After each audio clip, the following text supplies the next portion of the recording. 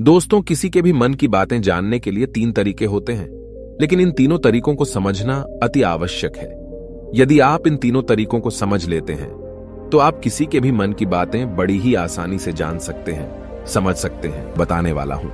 इन तीन तरीकों से बड़ी आसानी से किसी के भी मन की बातें जान सकते हैं। उसके बाद, वह अंधा आदमी राजा से कहता है, हे राजन, जो सबसे पहला तरीका है, वह है आँखों पर ध्यान देना। किसी व्यक्ति से बात करते वक्त उसकी आँखों में देखना उसकी आँखों पर ध्यान देना जो सबसे ज़्यादा ज़रूरी है क्योंकि आँखें बोलती नहीं पर बहुत कुछ कह जाती हैं। यदि हम किसी व्यक्ति की आँखों के इशारों को समझना सीख जाएँ, हम यह जान पाएँगे कि व्यक्ति के दिमाग में क्या चल रहा है वह क्या सोच रहा है और अभी वह क्या करने वाला है। मेरे पास आँखें नहीं हैं लेकिन मैंने अपने गुरु से यह विद्या सीखी है क्योंकि बहुत सालों पहले मेरे पास आँखें थीं। और मैं उस वक्त लोगों के मन की बातें केवल उनकी आँखों से ही जान लेता था। इसलिए यदि आप भी दूसरों की मन की बातें जानना चाहते हैं तो आपको भी उनकी आँखों पर गौर करना चाहिए। जैसे कि उनका आकार कैसा है, वह कब, कहाँ और किधर देख रहे हैं। यदि उसकी आँखें यहाँ वहाँ घूम रही हैं, जब आप उससे बातें कर रहे हैं तो वहाँ वह इधर उधर मोड़ रहा है। कभी ऊपर तो कभी नीचे या कभी आसपास। या फिर उसकी आँखें खुश नज़र आ रही हैं, या फिर आँखें निराश नज़र आ रही हैं। जैसे कि चोर होता है। उसकी आँखों में जब हम देखते हैं तो हमें यह पता चलता है कि अगले आदमी ने कोई गलती की है। ठीक उसी प्रकार जब हम किसी चालाक व्यक्ति की आँखों में देखते हैं तो आपको पता चलेगा कि उसकी आँखों में एक भाषा होती है। एक बहुत ही सीधा और आसान तरीका होता है।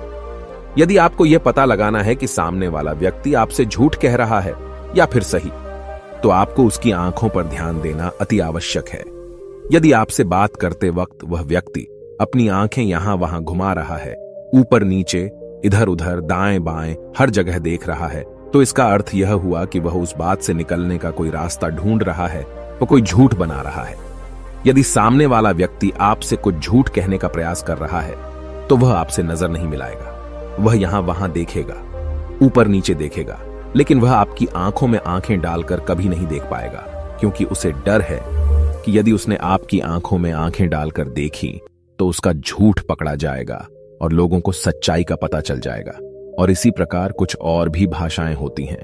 जब आप किसी की आँखों में आँखें डालकर यह देखना शुरू कर देंगे कि उसके हाव भाव क्या है। ठीक उसी प्रकार चेहरे के हाव भाव होते हैं, जिससे हम मन की बातें बड़ी आसानी से समझ सकते हैं और इन्हें भी समझना बहुत ज़रूरी है। कभी कभी कोई व्यक्ति अपने चेहरे से जैसे आँख, होठ और बहुत से कुछ अलग अलग व्यवहार करता है। यदि आप किसी व्यक्ति के चेहरे में गौर करेंगे तो आप आसानी से समझ पाएँगे कि वह व्यक्ति निराश है। जब व्यक्ति बहुत उदास है, या फिर वह बहुत खुश है, या फिर उसे कोई बहुत बड़ा दुख है, वह अपने अंदर क्या महसूस कर रहा है, ये सारी बातें हम उसके चेहरे के हाव भाव से पता कर सकते हैं। फिर चाहे इंसान ज़ुबान से कुछ बोले या ना बोले, लेकिन आप उसके चेहरे से सब कुछ पता कर सकते हैं। आगे व्यक्ति राजा से तीसरा तरीका बताते हुए कहता है, हे राजन, इसी प्रकार तीसरी भाषा भी है, अर्थात तीसरा तरीका भी है, और वह है हाथों के इशारे और शरीर का व्यवहार। मन की बात समझने के लिए हमें हाथ के इशारे और शरीर के व्यवहार को समझना बहुत आवश्यक है। कोई व्यक्ति जब बात करता है तो आपने देखा होगा कि वो अपने हाथों को हिलाता रहता है।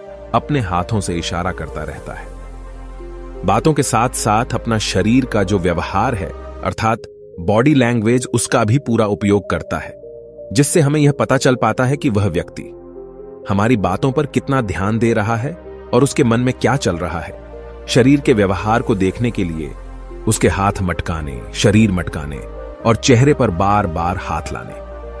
हाथों का एक दूसरे से मसलना, ऐसी बहुत सी क्रियाएँ होती हैं उस पर हमें ध्यान देना अति आवश्यक है। मन की बात को समझने के लिए हमें शरीर के व्यवहार को भी समझना पड़ता है। यदि हम इन तीन तरीकों को सही तरीके से ध्यान देकर इन तीन तरीकों को अच्छे से समझ लेते हैं तो हम बहुत जल्दी किसी भी व्यक्ति के मन की बातें बड़ी सरलता और सहजता से जान सकते हैं। इसलिए यदि आपको किसी के मन की बातें जानी है तो आपको उसकी आँखों पर, उसके चेहरे पर, उसके शरीर के हाव भाव को और उसके हाथों को ध्यानपूर्वक देखना और समझना होगा, जिससे आप यह समझ पाएँगे कि आखिरकार उसके मन में क्या चल रहा है और वह क्या सोच रहा है। लेकिन उनसे पहले आपको अपने मन को एकाग्र करना होगा, शांत करना होगा और अपने मन को वर्तमान में लाना होगा। तभी आप उस व्यक्ति की इन सभी क्रियाओं पर ध्यान दे पाएँगे, उन्हें समझ पाएँगे।